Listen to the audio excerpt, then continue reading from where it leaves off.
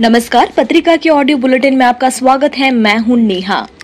मध्य प्रदेश के मुख्यमंत्री शिवराज सिंह चौहान ने श्रम सुधारों का ऐलान करते हुए कहा कि प्रदेश में अब दुकानें खुलने की समय सीमा सुबह छह बजे से रात बारह बजे तक होगी।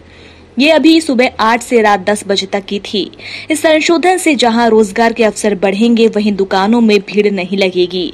कारखानों और कार्यालयों में काम कराने की पाली आठ घंटे से बढ़ाकर बारह घंटे की की गई है। सप्ताह में बहत्तर घंटे तक कार्य कराए जाने की अनुमति होगी। हालाँकि इसके लिए ओवर टाइम देना होगा। उत्पादकता बढ़ाने के लिए उद्यमी सुविधा अनुसार पाली में भी बदलाव कर सकती हैं। उन्होंने कहा कि चीन से उद्योग हट रहे हैं। मध्य प्रदेश में हमें निवेश लाना है। हमें अपनी अर्थव्यवस्था को बढ़ाना है। हमें युवाओं को रोज़गार उपलब्ध कराना है। इसके लिए श्रम कानून को आसान बनाने की दिशा में कदम उठाया है। उन्होंने उद्योग के लिए राहत की भी घोषणा की है।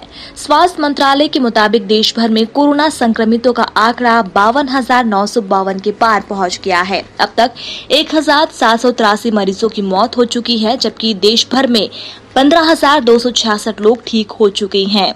मध्य प्रदेश में कुल बत्तीसों के पार ये आंकड़ा पहुँच गया है। इनमें सबसे ज़्यादा इंदौर में एक हज़ार छह सौ इक्यासी, भोपाल में छह सौ उनतालीस, उज्जैन में एक सौ पंचानवे, जबलपुर में एक सौ छह, खरगोन में अस्सी, धार में सतहत्तर, रायसेन में तिरसठ, खंडवा में पचास, होशंगाबाद, मंदसौर में छत्तीस, बुरहानपुर में चौतीस, बड़वानी, देवास में छब्बीस, मुरैना में सत्रह रतलाम में 16, विदिशा में 13, शाजापुर में 7, ग्वालियर सागर और छिंदवाड़ा में पाँच पाँच मरीज़ मिले हैं।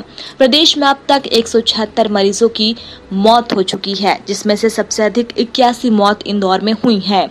अच्छी खबर ये भी है कि प्रदेश में अब तक 1000 संक्रमित ठीक भी हुए हैं जिनमें से इंदौर में सबसे अधिक तीन सौ बासठ भोपाल में दो खरगोन में 36, खंडवा में 32, होशंगाबाद में 19, उज्जैन में अठारह जबलपुर में बारह ठीक हो चुकी हैं।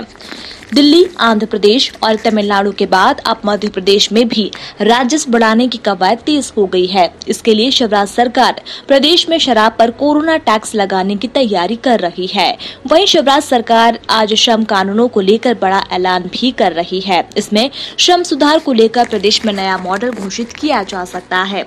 अन्य राज्यों में फंसे मध्य प्रदेश के मजदूरों की प्रदेश वापसी का सिलसिला जारी है। अब तक सत्तर हज़ार श्रमिकों की प्रदेश वापसी हो चुकी है।